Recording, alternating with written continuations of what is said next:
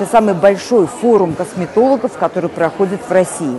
И для нас он ответственный тем, что это и теоретическая часть, и секции, они стали более продолжительными. У нас секция ботулинотерапии занимает два отделения. У нас секция огромная по филлерам.